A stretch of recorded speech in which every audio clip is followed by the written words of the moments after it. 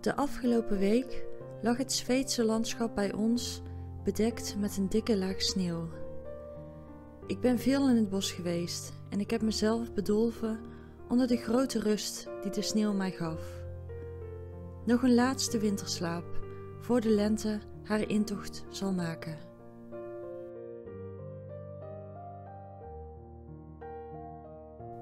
Ik wil bewust blijven over de vernietiging die hier plaatsvindt. En dit zal mij altijd diep blijven raken. Maar ik wil niet blijven stilstaan in het verleden. Het verleden is geweest, voorbij. Het heeft geen zin om te blijven hangen in negatieve emoties die energie zuigen. En natuurlijk is het prachtig emoties van verdriet te tonen en de gevoeligheid van je hart te laten zien. Maar als hoogsensitief persoon weet ik dat ik hier lang in kan blijven hangen. En dat is niet fijn.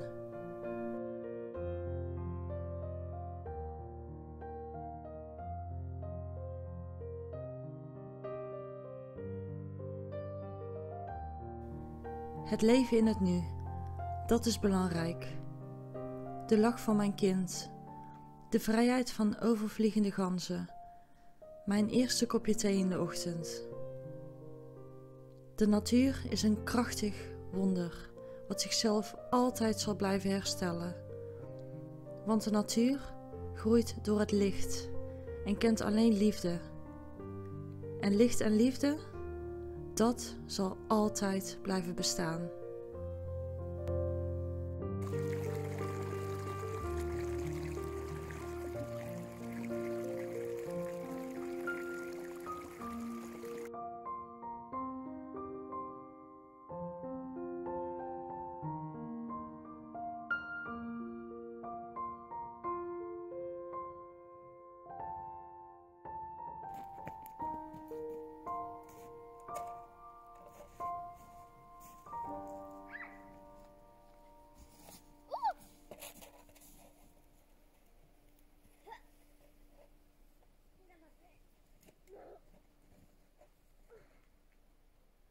Zo, zoals jullie zien is er al heel veel sneeuw verdwenen, bijna allemaal.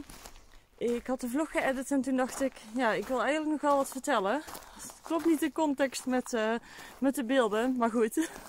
Ik wil eventjes terugkomen op mijn vorige vlog die ik met veel pijn, moeite, maar ook met veel liefde heb gemaakt. Ik ben iemand die het hart op de tong draagt of heeft. Ik weet niet precies hoe je dat zegt. Maar ik ben dus iemand die, ja, als ik onrecht zie of ik zie um, ja, dat iets niet klopt in mijn ogen, dan, dan vertel ik daarover. Dan uit ik mezelf. De vlogs zijn ook echt een soort dagboek voor mij. Zo zie ik het. Ik schrijf daarmee van me af. En ja, ik deel daarmee mijn gevoelens. En doordat mijn vorige vlog iets activistisch was in sommige ogen, heb ik best wel wat nare berichten ontvangen. Die blijven hangen. En dat is echt maar 2%, 98% van de mensen die mij een berichtje hebben gestuurd. Die herkennen zich in mijn verhaal. En dat vind ik echt super fijn om te lezen. Maar die 2%, en dat komt door mijn hoogsensitiviteit, dan blijft dat hangen. Dat blijft aan je knagen. En dat, oh, ik, sinds ik dit voorstuk in mijn hoofd en op papier heb geschreven, ik heb het ook opgeschreven wat ik jullie wil gaan vertellen, heb ik het van me afgeschreven. En dat werkt echt. Als je ergens mee zit en je blijft er heel dag aan denken, schrijf het op. Voor mij werkt dat echt verhelderend. Ik denk, doe even normaal in. Je hebt zoveel mensen om je heen nu. Zulke prachtige mensen die je gevoel herkennen en die ook hetzelfde over de natuur denken zoals jij. Die ook licht en liefde erover willen stralen en alles mooi willen houden en het goede met de wereld voor hebben. En alles wat je aandacht geeft, dat groeit natuurlijk. Ja, dat weten we allemaal. Dus ik wil graag mijn aandacht geven aan de positieve mensen om me heen. Zoals jullie. Ik hoop dat jullie ook wat aan elkaar hebben. Dat jullie elkaars berichten lezen. En dat je voelt dat je niet alleen hierin staat. Echt, mijn dank is ontzettend groot. Blijf je licht en liefde schijnen. Want daarvoor zijn we hier. Nou, vandaag gaan Jane en ik... Wat gaan we maken? Uh, What are we going to make? We gonna make bitterballs. Bitterballen! Om al zo vast in de carnavalsferen te komen, maken we vandaag bitterballen. Het zijn plantaardige bitterballen met champignons. En ik heb hier achter mij Champignon. Kijk eens open. Yes. En normaal gesproken koop ik gewoon verse champignons in de supermarkt. Maar ik had dit zakje nog van kerstmis. Dus het zijn allemaal verschillende champignonnetjes. En ja, we gaan nu een ragoutje maken. Die moet dan opstijven. En dan eh, gaan we balletjes draaien. En dan de frietpan in. Yummy, yummy. En nu zullen jullie wel denken, wat heeft Jane met haar kindertje gedaan? En Jane is gisteren heel erg hard gevallen. Het was echt heel zielig. Jane, do you want to tell the people what happened yesterday? Ehm, ja, ik ben op een slee geweest van een vriendinnetje. En toen ging ik op een heuvel. En toen op een gegeven moment ging ik heel snel naar beneden. En toen ging ik op een hobbel met mijn kin. En toen sprong ik met de slee of zo. Yes, en dan het was een bloody mess. Ja. En toen moest mami Jane ophalen van school. Nee. Jane wilde naar huis. En dat is donderdag gebeurd. Het is nu vrijdag en Jane is lekker een dagje thuis. Weet je wat ik heb gedaan? Ik heb... En Jane is going to show it. Eh, een soort van smeelwortelsapje gemaakt. Yes. Ik heb gedroogde smeerwortel. Dat heb ik in water gedaan. Een gaasje erin. Dat hebben we op Jane rondgelegd. En het is gelijk ontsmet daardoor. En het is... Ja, Jane, hoe doen we dat? Helemaal aan het hele al. Het ziet er echt heel rustig uit. Dus smeerwortel, jongens. Smeerwortel!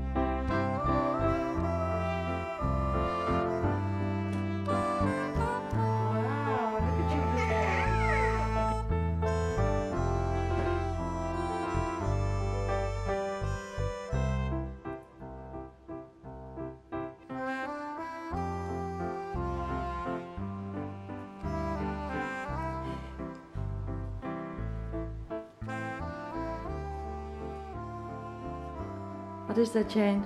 Uh, kroketje. Looks good. You're going to eat that. Eh, ja.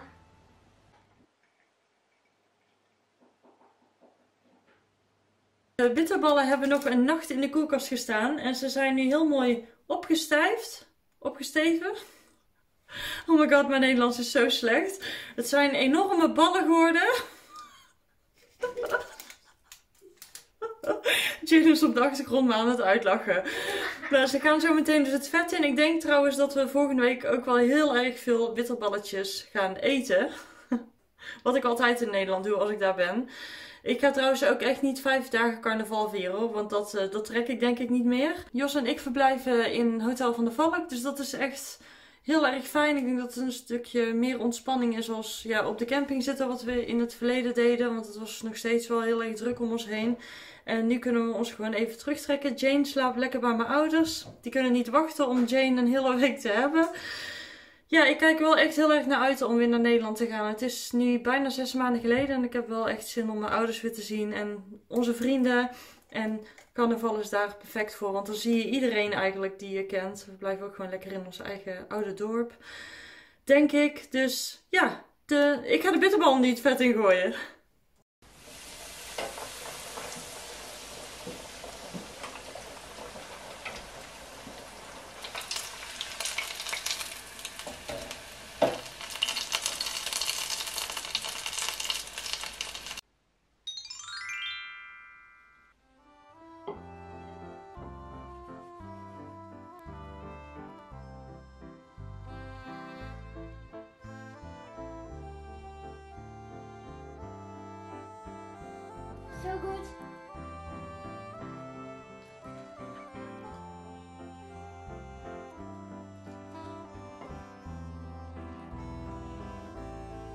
These are so good.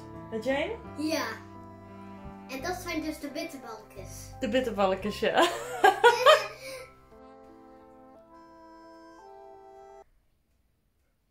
We gaan de koffers inpakken om naar Nederland te gaan. En ik bedacht me eigenlijk dat we helemaal niet zoveel hoeven in te pakken. Want normaal gesproken loop ik echt vijf dagen in mijn carnavalskleding. maar we gaan ook naar de Efteling, dus het lijkt me wel goed om wat normale kle- kleding mee te nemen ook. Or do you want to wear your Little Red Riding Hood cape chain? Eh, ja. Oké, dus Jane hoeft helemaal geen normale kleren mee te nemen. Jane, why don't you figure out what you want to take to the Netherlands with you? Oké.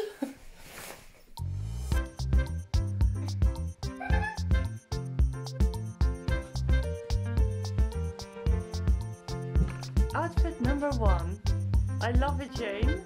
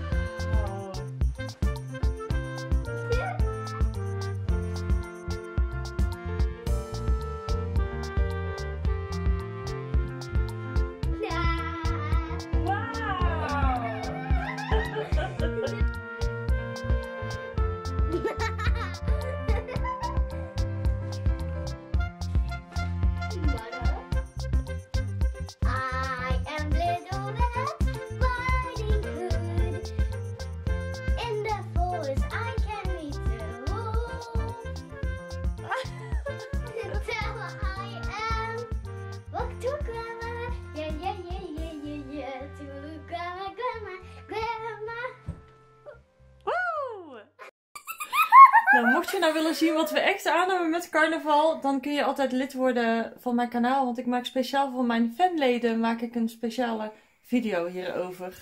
What is your favorite outfit? Um, it looks quite strange. Yes. Are you going to tell the people what you're going to wear? Now. No, hè?